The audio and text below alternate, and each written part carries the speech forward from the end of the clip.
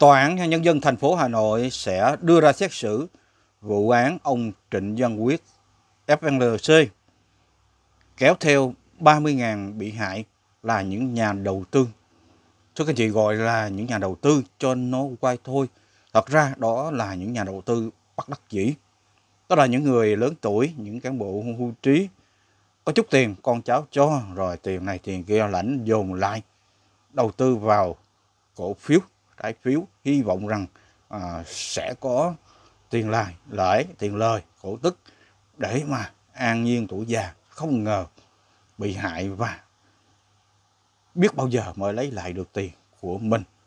30 ngàn bị hại, nước mắt của họ chảy như những dòng sông trôi ra biển. Của cải thì biết bao giờ mới quay lại, thưa các anh chị. Điều quái quăm là người đầu tiên hết đưa tin ông Trịnh Văn Quyết bị bắt. Cũng đã bị bắt. Đó là anh Quý Đức Trương Quy Sang, thưa các anh chị. Ông à, Trịnh Văn Quyết, cựu, cựu chủ tịch tập đoàn FLC hầu tòa với cáo buộc thao túng thị trường chứng khoán thu lợi 723 tỷ đồng. Tòa án Nhân dân thành phố Hà Nội vừa ban hành kế hoạch xét xử vụ án thao túng thị trường chứng khoán và lừa đảo chiếm đoạt tài sản liên quan cựu chủ tịch tập đoàn FLC Trịnh Văn Quyết và 50 người khác. Thẩm phán Vũ Quang Huy ngồi ghế chủ tọa, phiên tòa diễn ra vào ngày 22 tháng 7, dự kiến sẽ xét xử vào nhiều ngày. Ngoài 50 bị cáo, hội đồng xét xử sẽ triệu tập 30.403 nhà đầu tư cổ phiếu đầu tư mua cổ phiếu trong lần bán ra ban đầu của công ty FMC Farod tới tham dự với tư cách người bị hại. Bên cạnh đó, có hơn 63.000 đầu tư đang nắm giữ cổ phiếu cũng được triệu tập trong vai trò người có quyền lợi nghĩa vụ liên quan. Những người tham gia tố tụng khác được tòa triệu tập xét khi cần thiết. Gần 100 luật sư đăng ký bầu chữa cho các bị cáo, trong đó ông Trịnh Nhân Quyết có 4 người. Ông Trịnh Nhân Quyết cùng 7 người khác bị xét xử về các tội thao túng thị trường chứng khoán, lừa đảo chiếm đoạt tài sản. 43 bị can còn lại hầu tòa về các nhóm tội lợi danh chức vụ quyền hạn trong khi thi hành công vụ, công bố thông tin sai lệch hoặc che giấu thông tin trong hoạt động chứng khoán, thao túng thị trường chứng khoán, lừa đảo chiếm đoạt tài sản.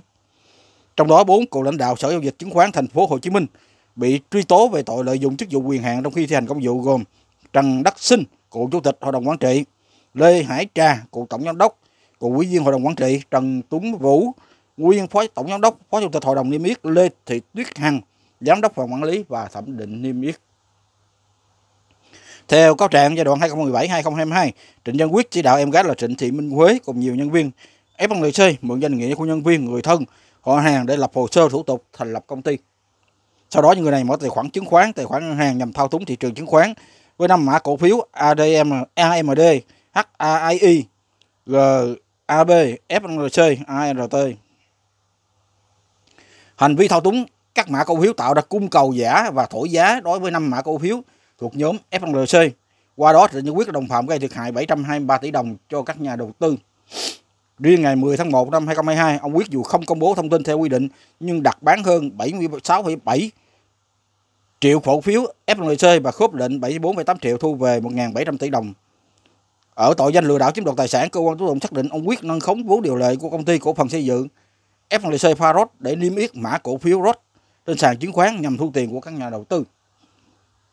Công ty Farod được thành lập vào năm 2011 với vốn điều lệ 1,5 tỷ đồng. Đến giai đoạn 2014-2016, ông Trịnh Văn Quyết làm thủ tục tăng vốn khống điều lệ cho doanh nghiệp từ con số ban đầu lên tận 4.300 tỷ đồng, tương đương 430 triệu cổ phần.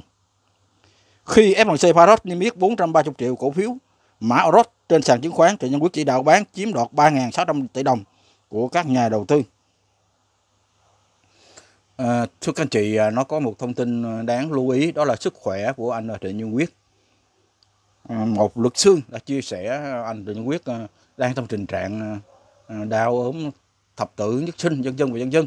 À, nhưng một thông tin khác của một người rất thân cận với anh Trịnh Nhân Quyết và có lẽ đã được thăm nuôi anh thăm được đi thăm gửi quà anh Trịnh Nhân Quyết cho biết là anh Trịnh Quyết sức khỏe vẫn ổn định, không có gì cả, đủ điều kiện về sức khỏe để hậu to.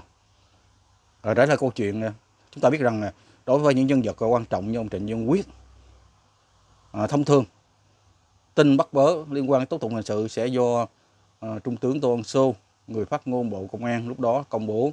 Tuy nhiên, ông Trịnh Văn Quyết bị bắt và người đầu tiên đưa tin không phải là trung tướng ờ, tô ân sô hay là các tờ báo mà là tài khoản mạng xã hội Trương Quy Sang của anh Quy Đức anh ờ, Quy Đức đưa tin đưa hình ảnh ông Trịnh Văn Quyết uh, ăn mì tôm ở sân bay đây là hình ảnh uh, được đưa rất nhiều trên mạng rồi nhiều người đưa rồi cả trăm ngàn người cả chục ngàn người đưa rồi thưa anh chị. À, với tư cách là khen ông Trịnh Quyết giàu có như thế nhưng mà cũng tất bật với công việc là rất bình dân à, ăn mì tôm ở sân bay.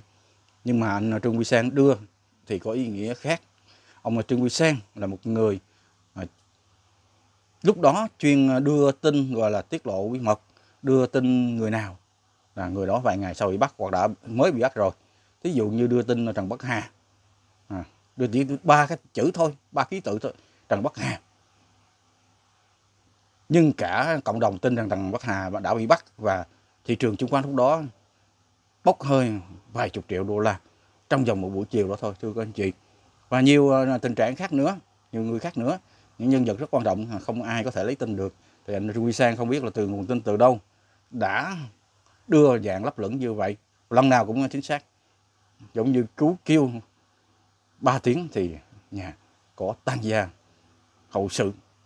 Và anh Quy Đức đưa lại cái hình ảnh mà người ta khen ngợi anh Trịnh Dân Quyết. Hình ảnh anh Quy anh Trịnh Quyết ăn mì tôm ở sân bay. Nhưng ở dưới dòng trạng thái là anh Trịnh Dân Quyết sẽ ăn mì tôm dài dài. Và người ta hiểu là ông Trịnh Dân Quyết đã bị bắt và đúng như vậy. Đúng như vậy, sau đó thì cơ quan điều tra công bố Trịnh Dân Quyết ờ, bị bắt.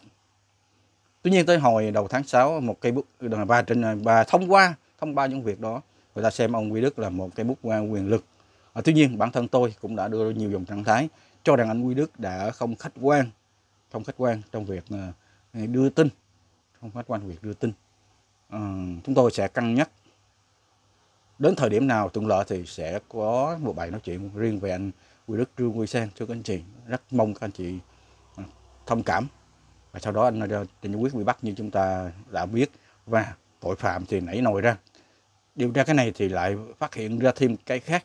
Và kết luận điều tra như chúng ta đã thấy rồi, nó thật khủng khiếp, số tiền cũng khủng khiếp mà số lượng người bị hại còn quá khủng khiếp hơn. Nước mắt của những người bị hại trong thời đại này trôi dài ra biển đông, và tiền thì không bao giờ trở lại nữa, hoặc là biết chừng nào mới trở lại. Chúng tôi sẽ tiếp tục à, thông tin về những vụ đại án à, sắp xét xử hoặc sắp kết luận điều tra à, sắp đề nghị truy tố. Xin cảm ơn các anh chị rất nhiều.